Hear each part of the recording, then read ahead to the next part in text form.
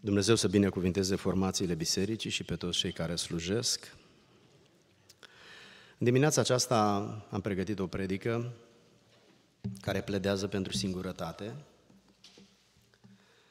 și puțin mai târziu am să vă spun de ce am crezut că este bine să pregătesc mesajul acesta. O să citim împreună din Vechiul Testament, Cartea Geneza, capitolul 28, pasajul în care Iacov este îndemnat de părinți să meargă în zona de unde a venit bunicul lor și să se căsătorească acolo cu o fată. Experiența pe care el o are la plecare este importantă pentru prezentarea acestui mesaj. O să vă rog să vă ridicați și să deschideți Scripturile în Geneza, capitolul 28. O să citim începând cu versetul 10 și o să încheiem cu 18. Geneza 28 cu 10. Iacov a plecat din Berșeba și și-a luat drumul spre Haran. A ajuns într-un loc unde a rămas peste noapte, căci a sfințise soarele. A luat o piatră de acolo, a pus-o căpătâi și s-a culcat în locul acela. Și a visat o scară rezemată de pământ, al cărui vârf ajungea până la cer. Îngerii lui Dumnezeu se suiau și se coborau pe scara aceea. Și Domnul stătea deasupra ei și zicea, Eu sunt Domnul Dumnezeul tatălui tău Avram și Dumnezeul lui Isaac. Pământul pe care ești culcat, ți-l voi da ție și seminței tale. Sămânța ta va fi ca pulberea pământului. Te vei întinde la apus și la răsărit, la miază noapte și la miază zi. Și toate familiile pământului vor fi binecuvântate în tine și în sămânța ta. Iată, eu sunt cu tine, te voi păzi pretutindeni pe unde vei merge și te voi aduce înapoi în țara aceasta, căci nu te voi părăsi până nu voi împlini ce-ți spun. Iacov s-a trezit din somn și a zis, cu adevărat, Domnul este în locul acesta și eu n-am știut. I-a fost frică și a zis, cât de înfricoșător este locul acesta. Aici este casa lui Dumnezeu, aici este poarta cerurilor. Și Iacov s-a sculat dis de dimineață, a luat piatra pe care o pusese căpătâi, a pus-o ca stâlp de aducere aminte și a turnat un de lemn pe vârful ei. Amin. Mulțumesc, dragii mei, vă invit să vă reașezați.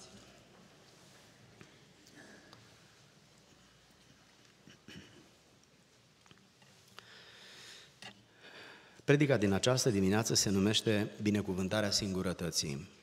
Binecuvântarea singurătății. Singurătatea și aglomerația sunt două forme de manifestare ale vieții personale. Dimensiunea personală și cea comunitară sunt două forme de manifestare a vieții spirituale. În viața personală suntem singuri sau cu alții. În viața de biserică ne manifestăm spiritualitatea singuri sau în comunitate alături de alții. Așa se face că dimensiunea personală este dimensiunea privată. Este odăița de care vorbea Domnul Isus în Matei 6 când spune Tu intră în odăița ta, încuie ușa după tine, acolo nu este comunitate, sunt patru pereți și eu singur. Aceasta este dimensiunea personală este dimensiunea privată. În această dimensiune noi accentuăm anumite lucruri specifice. În primul rând, accentuăm studiu și meditația. Apoi, accentuăm rugăciunea, mijlocirea și postul. Accentuăm relația spirituală personală cu Dumnezeu și accentuăm disciplinele spirituale. Accentuăm dezvoltarea caracterului. Toate lucrurile acestea se realizează în relația mea personală cu Dumnezeu, fără ca dumneavoastră să aveți vreo contribuție. Nu trebuie să vin la adunare pentru lucrurile acestea. Astea sunt între mine și Dumnezeu. Dacă eu le neglijez, lucrurile astea rămân nefăcute. Eu vin să mă închin comunitar împreună cu dumneavoastră, dar mai devreme sau mai târziu dumneavoastră veți vedea că eu am slăbiciuni la lucrurile care ar trebui care ar fi trebuit primite din odăiță, dar pentru că eu nu am o odăiță, pentru că nu practic închinarea mea personală ca individ, fără să fie neapărat soția, copiii sau frații mei, ci e între mine și Dumnezeul meu. Când legătura dintre un credincios și Dumnezeul lui lipsește, el are probleme de caracter, are probleme de consacrare, are probleme de slujire și lucrurile astea încep să se vadă, mai ales în familie, dar și în biserica în care merge. Pe timp ce se apropie mai mult de anumite persoane, persoanele acelea văd slăbiciunile acestea din viața lui. Această dimensiune însă poate să aibă și lucruri de extremă. Spre exemplu, ascetismul. Sunt oameni care își consacră viața lui Dumnezeu și se sfințesc până când se izolează de oameni și devin asceți. Sau esenianismul, sau un termen mai contemporan, izolaționismul. Se izolează de lume. Cei care merg într-o mănăstire, să știți că de aceea se izolează. Ei spun că în lume există mult păcat, că păcatul îi incomodează să se sfințească și se duc într-o mănăstire. Și acolo stau singuri, petrec foarte mult timp în rugăciune, singuri, meditează, se gândesc la Dumnezeu, devin asceți.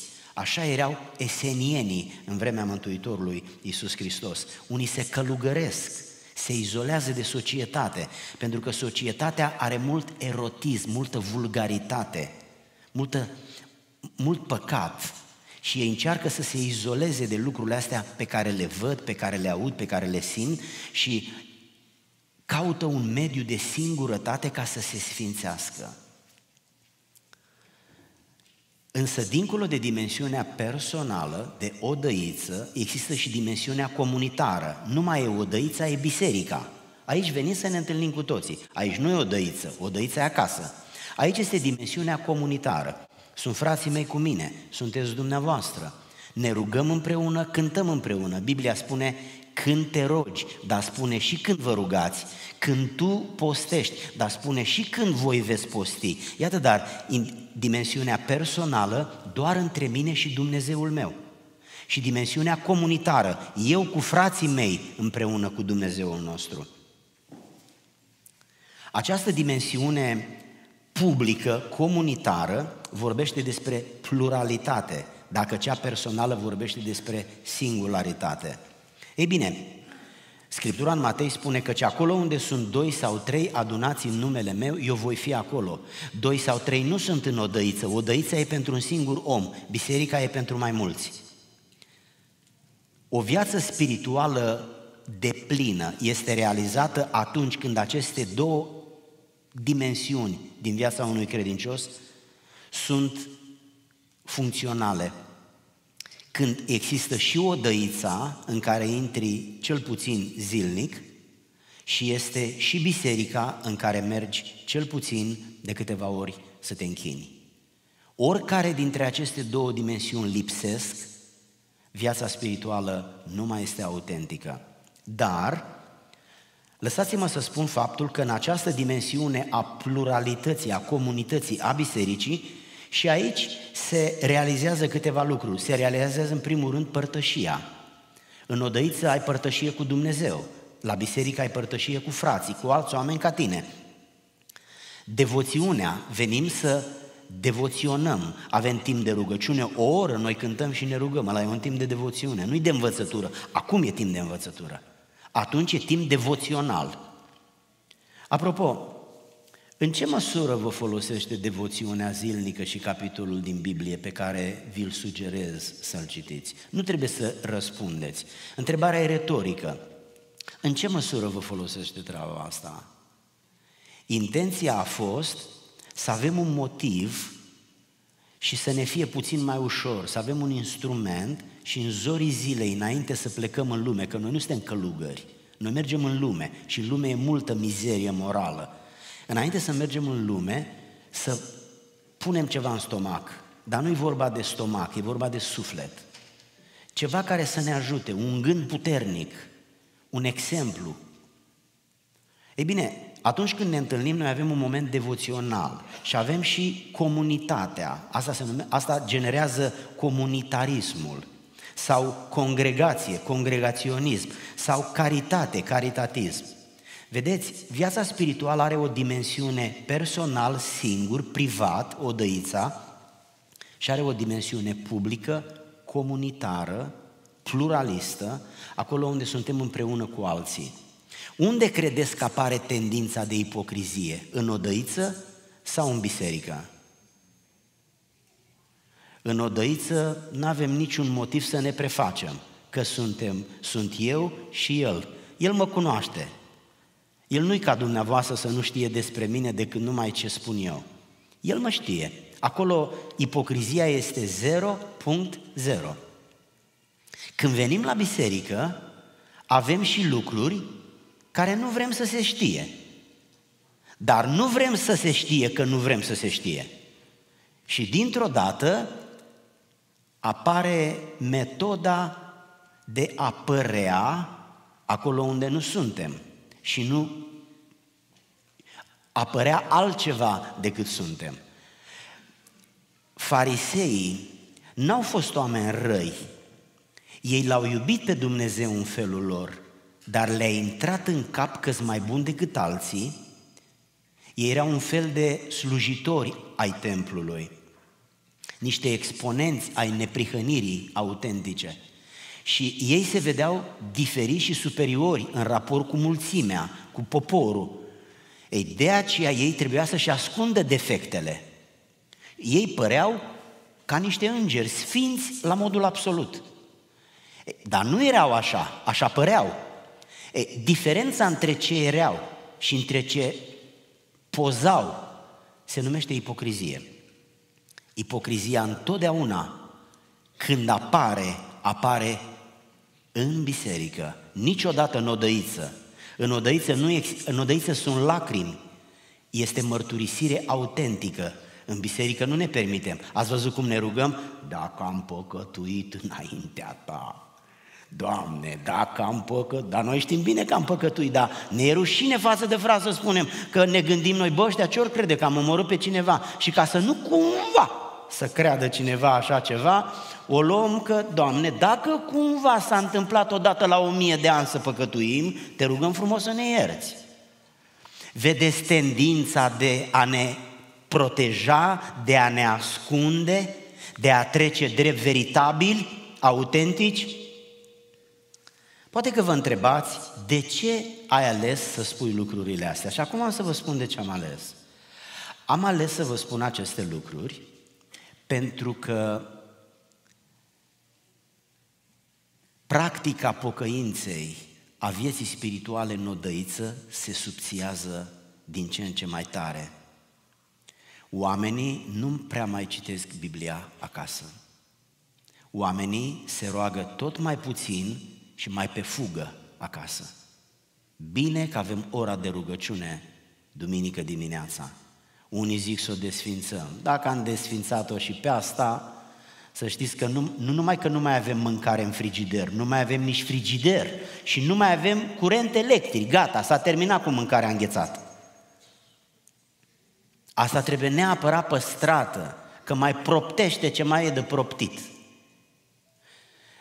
În generația noastră, odăița nu mai este desfolosită. Eu nu vorbesc despre cineva, eu vorbesc despre o tendință. Nu vorbesc despre biserica noastră, vorbesc despre timpul nostru, despre generația noastră. Să știți că atunci când pocăința intră în declin, ea mai întâi intră în declin în zona personală, în zona odăiței. Cea publică încă rămâne. Aici, uitați-ne, suntem cu toții. Îmbrăcați frumos, aranjat. Credeți dumneavoastră că știu eu cine a folosit săptămâna asta odăița sau nu? Nu știu, că sunt un muritor. Și nici nu trebuie să știu. Dar Dumnezeu știe. Asta e problema, că El știe. Ei bine, prin această predică eu pledez pentru folosirea odăiței, că dacă cineva e pocăit, trebuie să fie pocăit acasă. Dacă nu-i pocăit acasă, la biserică e ușor să fii pocăit, pentru că avem o metodă care ne ajută. Acasă nu funcționează, dar aici funcționează. Și metoda se numește Ipocrizia. Ascunde multe cu metoda asta. Uneori e nevoie de ani de zile ca să-ți dai seama de cineva că nu era așa cum a părut, era altfel. Motivul principal este să spun că în situația în care o dăița este părăsită, autenticitatea pocăinței acelui om intră în declin. Și mai devreme sau mai târziu se va vedea și în plan comunitar la biserică. Asta înseamnă că viața spirituală a celor mai mulți creștini, care se sprijinește doar pe închinarea publică, comunitară, pluralistă, se va degrada pe timp ce trece. Vei simți din vorbe, nu mai are nu mai are starea de rușine, de evlavie, nu mai are curăția aia în vocabular, în vorbe, începe cu miștocăreli, începe cu permisivități, aia a devenit necesară, aia a devenit posibilă, lucrurile care sunt posibile se înmulțesc, iar cele care mai trebuie ținute se împuținează. Adevărata pocăință nu este în plan comunitar. Aici nu avem încotro, nu ne dăm petic aici. Dumneavoastră ați auzit ca și mine de o grămadă de ori. Păi da, îți ziceam ceva, dar sunt în biserică. Dar nu biserica e problema, oameni dragi, Dumnezeu e problema. Pentru că El ne aude când vorbim în biserică sau în afara bisericii. Vedeți? Pentru că suntem în biserică nu putem spune anumite cuvinte. Dar vinovăția celor cuvinte în afara bisericii nu e la fel de mare în fața lui Dumnezeu? Ba da, observați că noi am devenit, am, am construit o sfințenie specifică locului ăsta. Păi hai să ne mutăm aici, că ne-ar prinde bine dacă ne-am mutat aici. Aici facem cât un dormitor pentru fiecare și nu o să ne mai permitem că suntem în biserică. Dar nu o să facem asta, că e casa lui Dumnezeu, nu e a noastră. Noi avem casele noastre și acolo avem o mică biserică unde încape doar un om. Așa, pe, de-abia încape. Aia se numește o dăiță. O întrebare retorică. Să nu încercați să răspundeți, că n-are rost. E retorică. Fiți sinceri. De la 1 la 10, cât folosiți o dăiță? Nu mă gândiți-vă. Vreau să vă spun foarte direct, pentru că vă prețuiesc. Atât suntem de pocăiți, cât folosim odăița. Aici multe lucruri le facem de ochii fraților. Vreți să mă credeți că m-am întrebat de o mie de ori de când sunt păstor în biserica asta, aș mai veni în fiecare marți la rugăciune dacă n-aș fi păstorul bisericii? Eu cred că da, dar hm, normal că mi-au apărarea. Că dacă nu mi-o iau eu, cine să mi-o ia? Dumneavoastră? Aș mai face anumite lucruri dacă n-aș fi păstorul bisericii? Cred că da, dar Domnul știe dacă e da sau nu. Creștinii au tendința din ce în ce mai mult să nu mai citească Biblia, să nu se mai roage, să nu mai cugete, să nu mai mediteze, să nu mai folosească disciplinele spirituale, să nu-și mai dezvolte caracterul. Păi fraților, să fii tu om credincios pocăit 40 de ani și tu să înjuri, tu să ai un vocabular vulgar, glume proaste, tu să fii neserios, tu să minți, tu să promiți și să nu te ții de cuvânt, tu să știi că cineva este supărat pe tine și tu știi asta și să nu te duci să-ți ceri iertare. După 40 de ani de pocăință, asta este, asta este egală cu, cu orice păcat, curvia dacă vreți. Păi cu ce te-ai ocupat 40 de ani? Păi dacă ai lucrat la o casă 40 de ani și n-ai terminat-o, ai fi de rușine. Dacă ai pune de mămăligă și după 40 de ani n-ai terminat-o, ai fi de râs. Dar tot la fel este și cu caracterul. În 40 de ani de pocăință, o lași încet, încet, cu minciuna, cu lista continuă. Dacă nu reușești, întreb, Care mai e diferența între pocăință și nepocăință? Zero. Nicio diferență. Înțeleg că sunt oameni religioși care vin la biserică, înțeleg asta, dar întreb, de ce vin? Dacă cine ar munci fără bani, te duci la lucru și nu primești nimic, adică n-ai niciun beneficiu. Oameni dragi, există și biserică catolică, există și biserică ortodoxă, ambele fiind numite istorice. Există biserică Există multe feluri de biserici, dar nu toți oamenii care se duc la biserică se sfințesc. Merg doar pentru sentimentul religios. Unii aprind o lumânare, unii fac o cruce, alții pupă o icoană, alții își apleacă un genunchi, spun două vorbe și pleacă. Dar ei nu se sfințesc, își împlinesc o datorie față de conștiință. Ei acasă nu fac nimic spiritual, dar dacă trec pe lângă o biserică, poate intră 5 minute. Observați nevoia odăiței, observați importanța ei. Odăița vorbește despre un om consacrat în pocăință. Despre un om care face, trăiește zilnic cu Dumnezeu și vorbește zilnic cu Dumnezeu. Acolo, aici vii că te ved, nu te mai vede păstorul, nu te mai ved părinții, nu te mai văd frații și surorile și te mai întreabă când te întâlnește pe la prăvălie. Bă, dar nu te-am mai văzut pe la biserică, nu mai ești șpocăit.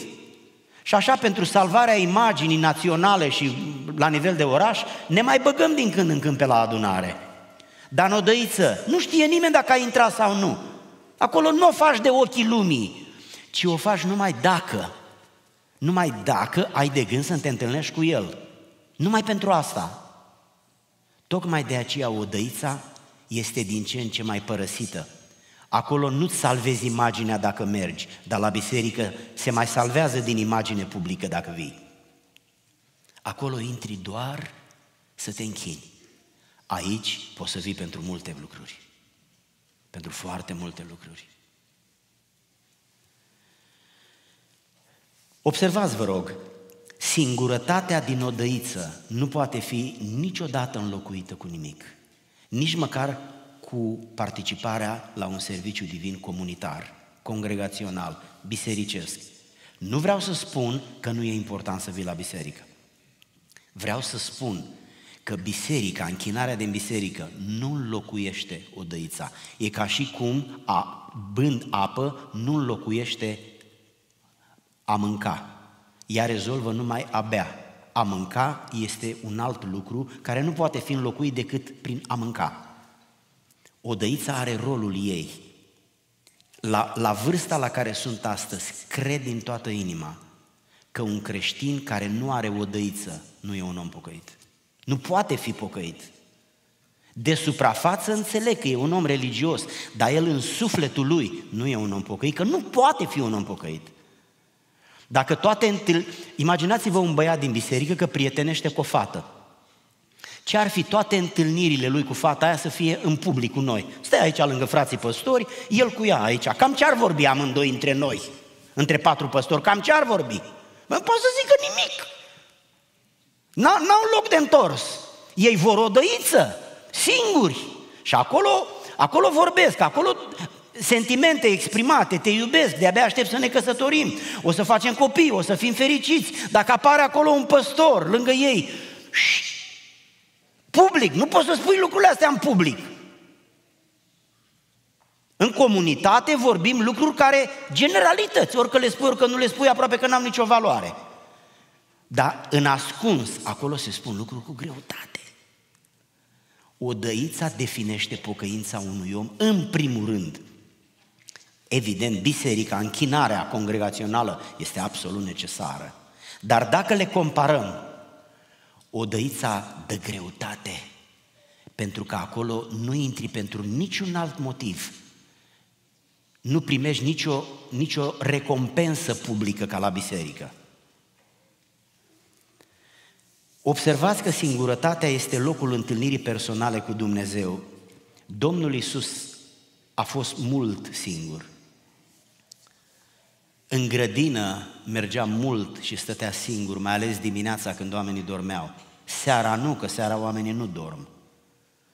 Iacov a stat în noaptea aia singur Ilie a stat multe nopți singur. Care parte din viață a marcat istoria acestor oameni? Singurătatea sau viața publică? Ioan în Patmos a fost singur. Știți cum îl găsește îngerul Domnului când îi aduce mesajul Apocalipsei? Stând în Duhul. Dacă eu sunt cu fratele Dorin, vorbesc cu el. Cât? Cât sunt cu el? Tot vorbim. O luăm de la facerea lumii până la sfârșit. Dar dacă sunt singur, am șansa să stau în Duhul. Ioan era în Duhul. Nicodim a venit singur la Domnul Isus. Dacă mai lua vreo 10 farisei cu ei și a ascultat fariseia toate lucrurile pe care le-a spus Nicodim, ăia până nici nu mai avea nevoie să-l ducă la marele preot, îl omorau pe drum. Samariteanca a venit singură la fântână. Ce ziceți dacă venea cu cinci vecine? O mai aborda Domnul Isus?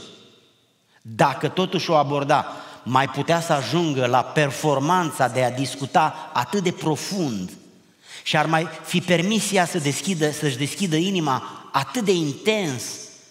Lucrurile care le faci singur, alea sunt lucrurile adevărate, sunt lucruri private, sunt lucruri grele, sunt lucruri puternice. Lucrurile care îți permis să le faci în comun, alături de alții, sunt lucruri obișnuite, alea orică le faci, orică nu le faci aproape. Când vrem să facem ceva important, spui, scuză-mă. Și pleci, te duci într-un loc singur. Singurătatea cu Dumnezeu dă greutate pocăinței. Fiul risipitor a luat decizia și singur s-a întors acasă. N-a luat cu el nicio fată și niciun băiat de acolo. Singur. Singur s-a confruntat cu tatăl lui. Când ești în grup, poți să spui anumite lucruri că nu ți-e rușine. Vă rog frumos, încercați să fiți atenți acum și să, să criticați în sensul de a judeca afirmația mea. Îți permis să glumești uneori mai mult decât trebuie dacă ești cu mai mulți, că te ascunzi între mai mulți. Dar când ești unul cu unul, nu-ți permis să spui anumite glume. Pentru că nu ești decât tu. Dar când ești mai mulți, mai zice celălalt dacă se supără, spune, a, mă, că am glumit, suntem aici mai mulți, am avut un pic de discuție. Să știți că noi ne ascundem în mulțime și când promitem, nu prea ne țin, putem să nu ne ținem de cuvânt. Dacă eu întreb cine vrea să fie voluntar mâine la nu știu ce, când ești în mulțime poți să nu zici nimic. Dar dacă eu mă duc și spun, frate Dorin, poți să vii mâine la ora 10? Nu mai poți să nu zică nimic, trebuie să zică ori da, ori nu. Pentru că întotdeauna când ești unul la unul devine confruntativ. Când ești în mulțime nu-i confruntativ, că ești un cap între 200 de capete. Te confunzi cu alții. Dar când ești singur, atunci e confruntativ. Și cu Dumnezeu este la fel. Confruntativitatea este în odăiță, nu în biserică. În biserică se împarte greutatea pe cap de locuitor. Singurătatea este locul lacrimilor. Agar și-a ridicat glasul când era singură în pustie și a început să plângă. Dacă erau oameni, probabil nu plângea. Nu preferăm să ne vadă oamenii când plângem. Am dreptate? Cred că am. Ezechia s-a întors cu fața la perete și a plâns. Vă întreb, de ce s-a întors cu fața la perete? Poate mai intra cineva în cameră să nu-l vadă? Sau ca să se concentreze să nu mai vadă? De ce s-a întors cu fața la perete? Eu mă gândesc că a avut și asta un rol. Iov plânge singur de durere. Toate lucrurile astea sunt scrise în Biblie. Citiți în Iov 16 cu 16. Se menționează că singur a făcut treaba asta. De ce n-a făcut-o de față cu nevastă sa? Cei care sunteți bărbați, știți de ce? Când se întâmplă să plângem, oamenii cred că noi nu plângem, femeile cred că noi nu plângem.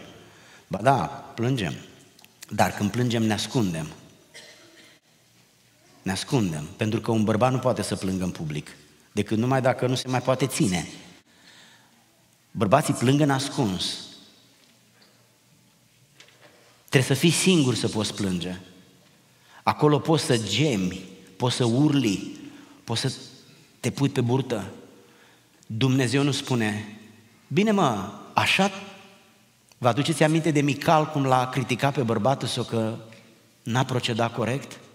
când ești în odăiță, scapi de etichetă, pentru că Dumnezeu te înțelege. Lăsați-mă să spun doar comparația asta. Atunci când ne rugăm, tonul rugăciunii este direct proporțional cu starea noastră sufletească. Dacă ești într-o stare liniștită, pulsul este sub 12 cu 7-8 și liniștit, liniștit, și te rogi, știi cum te rogi? La nivelul stării pe care o ai, te rogi așa, liniștit. Dar dacă ești într-o stare de ai aflat ceva, ți-e frică, ești într-o stare de pericol, nu te poți ruga liniștit. Situația în care ești te face să fii zgomotos. Iată cum starea sufletească se reflectă în ce faci. Odăița te influențează, își spune cuvântul. Odăița, singurătatea este locul lacrimilor, acolo îți dai drumul și plângi. Acolo îi spui Domnului exact ce simți. În biserică, în rugăciunea cu voce tare, dacă eu mă rog cu voce tare, trebuie să fiu atent ce spun. Normal că trebuie să fiu atent ce spun. Acum ne mai aude și toată lumea după internet. Nu mai de ajuns că ne aud frații de, din biserică. Trebuie să fii foarte atent, nu poți să spui totul. Trebuie să spui doar ce e de spus public, dar în odăiță. În odăiță n-ai nicio restricție, niciuna. Îi spui, Doamne, iartă-mă că sunt un nemernic. Aici, dacă eu spun de la microfon, dumneavoastră veți spune, bă, dar ce a făcut mă ăsta de zice că e nemernic? Cam asta vă interesează pe dumneavoastră. Pe Domnul, Domnul nu spune astfel de întrebări, nu? Vedeți cum închinarea public ne obligă să restricționăm lucruri care pot fi spuse și care nu pot fi spuse. Odăița e sfântă, e binefăcătoare, este tolerantă, ea aude lucruri pe care nu le, nu le aude nici nevasta. Avem nevoie de o dăiță. Vreți să vă spun ceva foarte direct? Când cineva mă întreabă ce soluții, ce sfat îi dau eu pentru depresie, eu îi spun trei pastile de odăiță. Pune mâna și plângi înaintea Domnului câte o jumătate de oră. Întinde-te pe burtă sau stai în genunchi sau stai cum vrei să stai, cum simți și intră în atmosfera aia în care îți permis să plângi, să refulezi, Plângeți păcatul, numește-l, spune lui Dumnezeu, Doamne, dacă eu aș fi în locul tău și tu în locul meu, eu nu te-aș iubi și nu te-aș ierta și nu te-aș primi. Dar mă mir că tu mă primești și mă iubești când știi și mă vezi cum sunt. Depresia nu e altceva decât o frângere a postamentului vieții, o frângere a sistemului nervos. Atât ai pus pe cocoașa la cămila asta, încât s-a făcut praf, s-a rupt în două. Avem nevoie de o dăiță, o dăiță îți dă libertate, o dăiță te face senin, pentru că e locul mărturisirii celor mai adânci mizerii pe care un om le poate face. Este necesară singurătatea, este locul lacrimilor. Văduva din Nain plânge pentru copil, dar plânge și pentru singurătate. Ioan plânge pentru Lazar și plânge pentru cetate. Singurătatea nu-i doar locul lacrimilor, singurătatea e și locul binecuvântărilor. Mântuitorul își reînnoiește puterea în singurătate și în devoțiune. Vă aduceți aminte ce spune el în versetul 17? Nu te teme că Dumnezeu a auzit glasul copilului. Fac referire la Agar din Geneza, capitolul 28. Moise a petrecut 40 de ani singur. Era cu o grămadă de oi în pustie și stătea singur în băț așa, în băț așa. 12 ore pe zi se gândea și 12 ore pe noapte. Păi așa poți să mai și memorezi din Scriptură, nu? Dacă când tu n-ai timp să mănânci, tot la drive-thru, tot la drive-thru, tot la drive-thru, când să memorezi, frate? Că nu poți să-ți iei o jumătate de minte, să o împarți cu memoratul și una să faci ce faci. Noi nu mai avem timp nici să ne să respirăm. Noi nu mai gândim. Noi, noi acționăm. Că n-ai timp. Iacov este binecuvântat în singurătate. Tâlharul este binecuvântat când ajunge lângă Domnul Isus și face singur un lucru pe care prietenul lui nu vrea să-l facă. Asaf spune în Psalmul 63, mă voi gândi, ideea este voi medita la toate lucrările tale și îmi voi aduce aminte de ce ai făcut. Mântuitorul spune Scriptura că s-a urcat pe munte singur, la o parte. Ce înseamnă ideea de la o parte? A ieșit dintre oameni și s-a dus la o parte să se roage. Dar de ce nu s-a rugat acolo cu ei? Nu, avea nevoie să spună lucruri pe care nu le mai aude nimeni decât Dumnezeu. Intrăm în depresie că purtăm în noi poveri, frici, păcate. Trebuie să scăpăm de ele, dar în biserică nu poți să faci asta. Cineva îmi, cineva îmi spunea, nu pot să vin la biserică în perioada asta pentru că plâng. Trecea printr-un moment greu și îmi spunea, dacă vin plâng, se uită oamenii la mine și după aceea vin să mă întrebe, de ce ai plâns? Și mai bine stau acasă, nu vreau să mă duc. Numai ca să știți cum, care, cât de confortabil se simte un om când trece printr-un necas să vină în adunare. Vă puteți imagina? Dacă n-ar avea nicio dăiță, unde s-ar duce? Mulți își pun capăt zilelor oamenii din lume care nu mai au speranță. Aș vrea să închei, pentru că timpul s-a încheiat, predica mea nu s-a încheiat, dar trebuie să o închei. El a rămas singur cu Dumnezeu, Iacov, pentru că atunci când rămâi singur cu Dumnezeu, Dumnezeu se descoperă. Vă aduceți aminte cu cine era Iacov când i s-a descoperit Dumnezeu? Singur. Singur. Când vei fi cu alții, foarte probabil că Dumnezeu nu ți se va descoperi. Luați cartea asta de la o copertă la alta și o să vedeți câți oameni au primit un mesaj de la Dumnezeu în timp ce erau cu alții. Știți unde îmi fac eu predicile? Mă duc într-un mall, îmi iau Biblia și îmi fac predica, nu? Nici vorbă. Puteți să mă credeți că dacă Carmen trece pe lângă mine, eu nu mai pot să-mi fac predica? Am nevoie de o singurătate de plină. Îmi fură gândul, nu pot să mai fiu atent. Singurătatea este necesară. Uitați-vă la Iacov. Atunci când a rămas singur, Dumnezeu i-a vorbit și el l-a cunoscut pe Dumnezeu. Atunci când a rămas singur, s-a cunoscut pe el mai bine, nu doar pe Dumnezeu. Și al treilea lucru pe care îl întâlnim aici, când a rămas singur, Dumnezeu l-a binecuvântat. Ne trebuie binecuvântări. Vrem să fim binecuvântați, dar dacă s-ar putea în mulțime, trec pe lângă fratele Ilie, pe lângă fratele Olărescu, pe lângă Virgil, Irinel, Sami, Ciprian și Cosmin și mă duc la fratele Vasile. Nu. Dumnezeu vrea să te întâlnească singur. Te va ajuta să-L cunoști mai bine, doar pe El. Atunci te va binecuvânta mai bine, atunci îți va da o descoperire, atunci vei putea să meditezi, să cugeți în taina singurătății. Singurătatea este unul dintre secretele pocăinței. Este unul dintre secretele sfințirii. Este un medicament pentru suflet este o metodă de a refula toate presiunile și fricile pe care le-ai acumulat. Folosește singurătatea. Noi cum avem un moment liber? Vezi pe doi că se duc la restaurant să mănânce soțul cu soția, îi spune soțul, te scot, te scot la, la restaurant astăzi. Se duc la restaurant, se așează și după ce comandă, până vine mâncarea, fiecare își scoate telefonul și fiecare se uită la niște oameni care nu sunt prezenți acolo.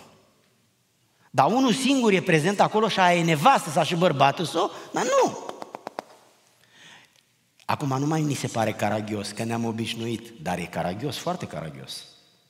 Ce rost are să te mai întâlnești cu un om ca să stea lângă tine în timp ce vorbești la telefon sau în timp ce te uiți pe Facebook? Am avut intenția să vă aduc aminte de faptul că noi, ca oameni credincioși, avem două locuri unde ne încărcăm bateriile unul privat, personal, unde putem să fim noi înșine și nu trebuie să ne prefacem. Unde putem să spunem orice și să ne apropiem de Domnul. Aia este odăița. Dacă cumva nu ai mai intrat în odăiță în ultimul timp, te invit cu dragoste, nu pierde asta, că dacă ai pierdut asta, pierzi mult. Vino la biserică în continuare, dar nu neglija odăița. Singurătatea este o mare binecuvântare. De aceea am numit predica binecuvântarea singurătății. Oameni dragi, haideți să ne ridicăm la rugăciune.